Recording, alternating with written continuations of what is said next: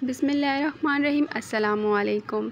आज मैं आपके लिए लेकर आई हूँ चिकन ब्रेड की रेसिपी। जी, चिकन ब्रेड की रेसिपी बहुत आसान इजी विदाउट ओवन घर पे बनाइए और मज़े से खाएँ और सबको खुश रखें। ये देखें कितने मज़ेदार मैंने घर पे बनाए हैं चिकन ब्रेड। ये देखें, मैं आपको तोड़ के दिखाती हूँ। ये देखिए कितना अच्छा और इसके अंदर देखें चिकन हमने डाली है। तो रेसिपी स्टार्ट करते हैं। डेढ़ पाव चिकन ली है बॉनलेस चिकन ले लीजिएगा। दो अंडे ले ले लेने हैं, ठीक है? और क्या कहते हैं, नींबू, ज़ीरा, पीसी हुई मिर्च, कुटी हुई मिर्च, हल्दी, गरम मसाला, नमक हाफ़ हाफ़ टेबल स्पून ले लीजिएगा, ठीक है? और tikka masala one tablespoon सिरका one tablespoon half tea cup होता है ना, वो आपने मिल्क ले लेना है और दो कप जो टी कप होता है, मीडियम वाला मैदा ले लेंगे, चीनी, बेकिंग सोडा और सॉल्ट, ठीक है? वन टेबल स्पून चीनी, हाफ़ बेकिंग सोडा और ईस्ट एक चम्मच और दो टेबल स्पून ऑयल है। ये देखिए थोड़ा सा मैंने पानी रखा है हाफ़ कप डो बनाने के लिए। तो चलें आराम से शुरू करते हैं। आप मैदे को अच्छे से छान लीजिएगा, ठीक है? एक बाउल में हम डालेंगे अंडा। और चीनी, नमक, बेकिंग पाउडर, ठीक है? Half tablespoon baking powder है, वन टेबल स्पून चीनी है और एक चम्मच डालेंगे ईस्ट का। और हाफ़ कप दूध शामिल करेंगे, ठीक है? मीडियम कप होता है ना चाय का, वो हाफ़ कप आपने दूध शामिल कर देना है और इसे अच्छे से कर लेना है मिक्स। देखिए, अच्छे से मिक्स कर लेंगे और फिर इसमें हम शामिल करेंगे दो चम्मच कुकिंग ऑयल के। इससे ना बहुत अच्छा क्रिस्पी क्रिस्पी बनता है।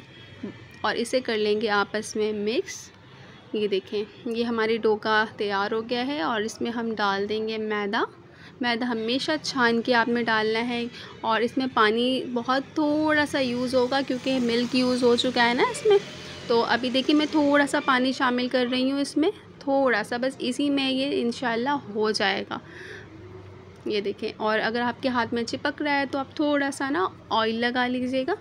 इस तरह कर कर हाथों में और इसके इर्द गिर्द भी ऑयल लगा लेंगे और फिर अच्छे से इसे गूंद दीजिएगा। देखें कितने अच्छे से ये गूंद गया है और इसे हम 45 मिनट के लिए रेस्ट पे रख देंगे, ठीक है? जा एयर टाइट जार पे रख दीजिएगा। बहुत अच्छी सी अल्हम्दुलिल्लाह डो तैयार हो जाएगी। तो अच्छे से आप इसे रख दीजिएगा मीडियम टेम्परेचर पे और फिर एक बाउल लीजिएगा, उसके अंदर चिकन डालिएगा, टिक्का, बोटी मसाला एक चम्मच डालिएगा और तमाम मसाले, ज़ीरा, कुटी मिर्च, हल्दी नमक और पीसी मिर्च और सिल्का शामिल कर दीजिएगा और नींबू को अच्छी तरीके से नचोड़ लीजिएगा और इसे अच्छे से मिक्स कर लीजिएगा आप, ठीक है?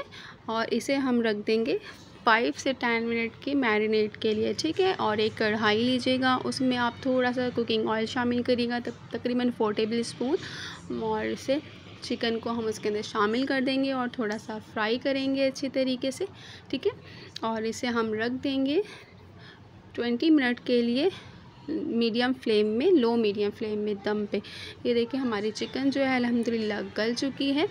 इसे हम थोड़ा सा फ्राई करेंगे और इसको हम तोड़ लेंगे, ठीक है? चम्मच की मदद से आप तोड़ लीजिए और इसे उतार के हम ठंडा कर लेंगे।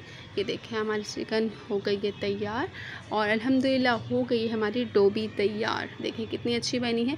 अब डो को हम उठाएँगे और इसे डिवाइड कर देंगे दो हिस्सों में। ये देखें। बराबर बराबर। अब ये हमारे दो पेड़े बड़े बड़े से बन चुके हैं और आपने बेलना है इसे। इसी तरह हाँ रखेंगे और इसे थोड़ा सा लंबाई की तरफ़ करिएगा। ठीक है? ऐसे ऐसे और इसे आप बेलें। ठीक है? आराम आराम से आपने इसको बेलना है लंबाई में। ठीक है? और इसके अंदर चिकन ऐड करिएगा और छुरी की मदद से टेन साइड इस साइड से कटिंग करना है हमने और टेन ही साइड उसी से कटिंग करना है और इसी तरह फोल्ड करना है आपने। ठीक है?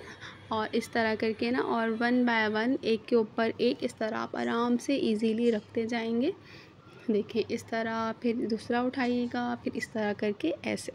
ठीक है, इस तरह हम आहिस्ता आहिस्ता करके इसे आराम आराम से आपने सॉफ्ट सॉफ्ट तरीके से रखते जाना है, बहुत आराम से। और देखिए, बहुत इजीली घर में बन जाता है और बहुत टेस्टी लगता है। बाहर से तो बेहतर है कि घर में साफ़ सुथरा हम बना लेते हैं। देखिए कितने अच्छे से हमने इसे फ़ोल्ड कर लिया है और ये हो गया है हमारा तैयार। अब एक आप इस, स्टील की ट्रे ले लीजिए या बड़ी प्लेट ले लीजिए। थोड़ा सा ऑयल लगा दीजिए हाथ की मदद से और इसे आराम से उसके ऊपर रख लें और थोड़ा अंडे की जर्दी होती है ना, वो चम्मच की मदद से आप इसके ऊपर हल्का हल्का सा लगा दें और इसे रख दें पतीले में। स्टैंड के, स्टैंड रखिएगा, फिर पतीला रख के इसे हम रख देंगे फोर्टी फाइव मिनट्स के लिए, ठीक है? मीडियम फ्लेम पे, ठीक है? अल्हम्दुलिल्लाह फोर्टी फाइव मिनट के बाद देखिए, तैयार हो चुके हैं हमारे। कितने मज़ेदार, अच्छे कलर आया है, खूबसूरत सा, अल्हम्दुलिल्लाह, बहुत अच्छे बने हैं। और आपको उम्मीद है पसंद आई होगी वीडियो, लाइक कीजिएगा। अल्लाह हाफिज़, मिलते हैं फिर।